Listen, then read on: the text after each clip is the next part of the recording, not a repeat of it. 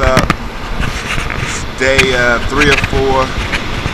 Headed to Kyoto on, on the train, man.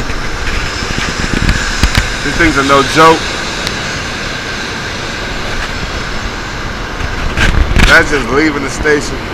You gotta see one of these things fly by, man. 187 miles per hour. Alright, you ready for this? Look how fast it goes. What's this? Oh, it's slowing down. Never mind.